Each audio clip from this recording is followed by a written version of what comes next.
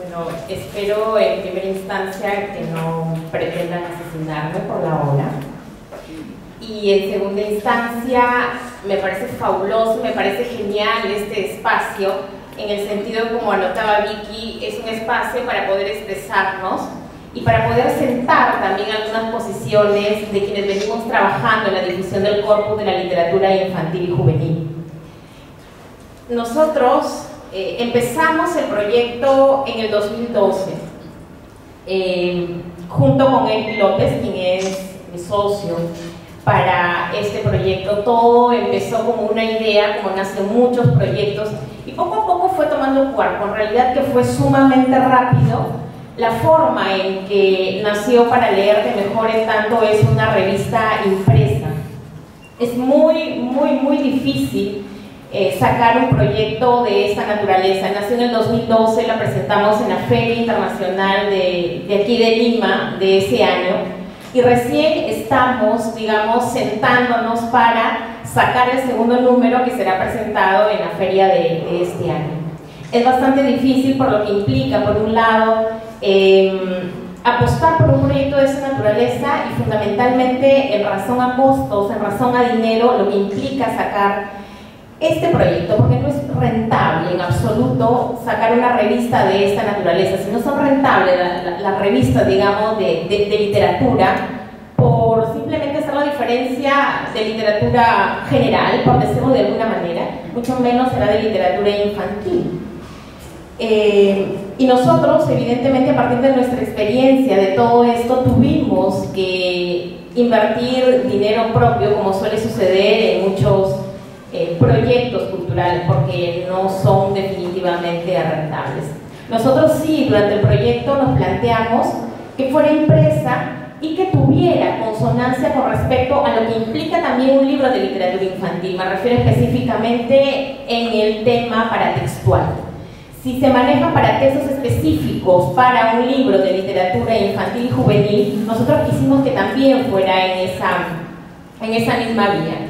¿En qué sentido? En tener cuidado en cómo es esta revista como objeto. Por eso decidimos que a pesar de los costos y a pesar de todo el trabajo que implicaba, conformar un, pequeño equipo de tal manera que el producto saliera como a nosotros nos, nos, nos, pareció la idea, que fundamentalmente tenemos sostenemos y defendemos de lo que implica la literatura infantil. Eh, sin embargo, por esas cosas que bueno, uno tiene que trabajar, tiene cosas que pagar, eh, digamos, dejamos un tiempo el proyecto, pero ahora estamos reflotando. ¿Por qué editar revistas de literatura infantil y juvenil?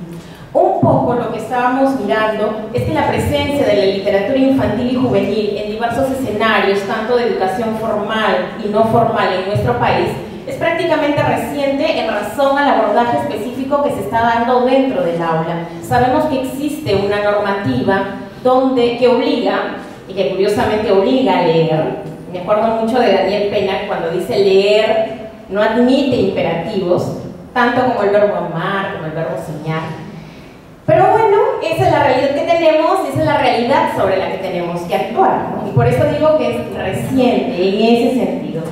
Esto, por un lado, es importante, muy importante y también beneficioso. Sin embargo, existe la otra cara, existe el otro lado, que toda, digamos, la literatura infantil ha devenido en una serie de confusiones e imprecisiones en su abordaje desde la experiencia de la lectura literaria en el aula, como anotaba Vicky, y es lo que siempre decimos y es lo que siempre eh, tenemos presente, que es o literatura o es pedagogía. ¿Qué es lo que tiene o debería contener un libro de literatura infantil? Sopesar el contenido axiológico implícito al contenido estético. ¿Cuál es lo esencial o qué es lo esencial y qué es lo importante? Un libro que enseña a un niño a lavarse las manos o un niño que le quite o un libro que le quite a un niño los temores. ¿Acaso la literatura eh, no podría tener un espacio en tanto es arte y por sí sola? ¿Por qué tenemos que estar encorsetándola en moralismos o moralejas? ¿Por qué tenemos que dudar de que el arte por sí solo tiene valores implícitos, más no explícitos. Esa es una de nuestras principales preocupaciones. Por lo tanto, la literatura se viene configurando como un cajón desastre en, lo que, en que todo cabe y se malinterpreta el hecho de que sea para niños, subestimándolos en tanto se les concibe que no son capaces de producir significados en su relación o conversación con el texto. Estas imprecisiones no solamente están presentes en el abordaje en el aula, sino también en la investigación, en la crítica y en la apreciación. Este problema se ve agravado en la medida que los espacios de intercambio y discusión sobre estas son escasas. En la Casa de la Literatura afortunadamente hay uno y de la misma manera son muy pocos los especialistas que se han formado en dicho corpus. Para leerte mejor, busca formar e informar sobre el acontecer tanto a nivel nacional como internacional de dicha literatura. Para ello buscamos poner al alcance diversa información a fin que se pueda brindar un marco referencial sobre el tratamiento de la misma en los diversos escenarios en que ésta se presenta, tanto escolar como extraescolar. Entre los objetivos que nosotros tenemos eh, están el difundir el corpus de la literatura infantil y juvenil. En ese caso, en el nombre, por ejemplo, para leerte mejor, debo confesar y decirlo eh, directamente que somos eh, Eric y yo partidarios de una literatura que no sea necesariamente condescendiente con el lector, por muy niño que éste sea, y tampoco con el adulto. Y nos gusta mucho, porque de una u otra manera lo que nos gusta se va a filtrar en nos gusta mucho la literatura transgresora. Y, nos gustaría mucho que, se difundan autores eh, como Isol, por ejemplo, incluso como Anthony Brown, uno de los grandes referentes de la literatura infantil, eh, entre otros. ¿no? Realmente son, son muchos los que podemos eh, mencionar. Por otro lado, también facilitar el acceso a la información sobre la investigación, problematización y dicotomías, ¿no? una de las principales dicotomías, ya que en la literatura infantil, digamos, eh, un poco ahí apareció en el siglo XVIII de la mano de, la pedagogía, ¿no? y tiende a confundirse sobre todo ahora.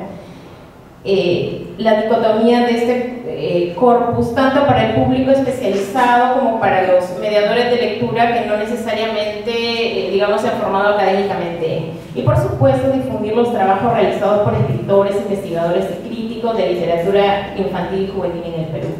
También he de aclarar que nosotros en Para Leerte Mejor compartimos junto con él el hecho de que la, la literatura infantil y juvenil eh, fundamentalmente en literatura. Y que tenemos, nosotros particularmente tenemos muy en cuenta la calidad literaria antes que la nacionalidad del escritor o que la temática nacional que toque o no. Porque nosotros pensamos que la literatura, siendo arte en sí misma, nos toca. Nos toca como, como, como seres humanos cuando leemos un libro. Eh, no compartimos que se descalifique a la literatura, por decirlo de alguna manera, infantil y juvenil universal, eh, digamos, para validar la literatura nacional. Ambas eh, comparten cuestiones fundamentales y, por decirlo de alguna manera, beneficiosas para el lector. Me gustaría a nosotros muchísimo seguir digamos, más permanente en este proyecto, pero es bastante difícil, ¿no? Eh, eh, los costos son realmente muy altos para este número. Eh, la impresión, parte de la impresión em, nos apoyó la editorial Arzán. los costos de ilustración y de diagramación pasó por cuenta propia.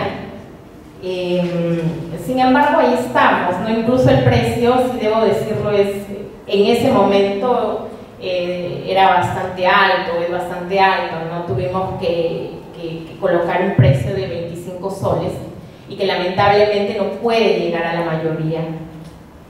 Eh, esta también es una de nuestras preocupaciones, cómo hacer para que la revista llegue a la mayoría de profesores, sobre todo eh, a los profesores que trabajan en instituciones públicas.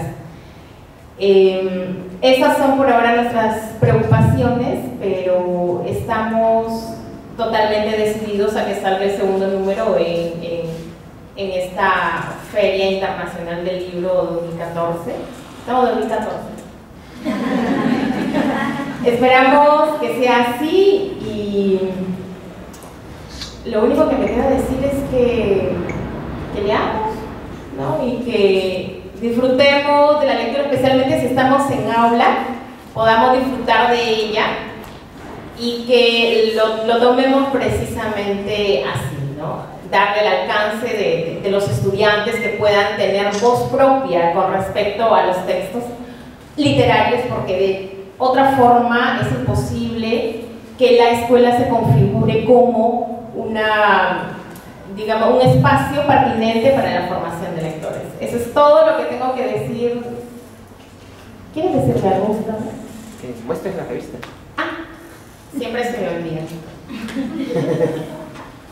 es esta, la revista, eh, para leer de mejor por lo de la caperucita, que consideramos que es un cuento transgresor. ¿no? Eh, cuando dice, cuando le pregunta el lobo, ¿qué fue lo que le pregunta?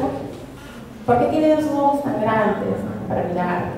Entonces, a nosotros nos gusta mucho ese cuento y en razón a eso es que le pusimos el, nombre. Y efectivamente, leer para leernos mejor y para leerte mejor. Gracias.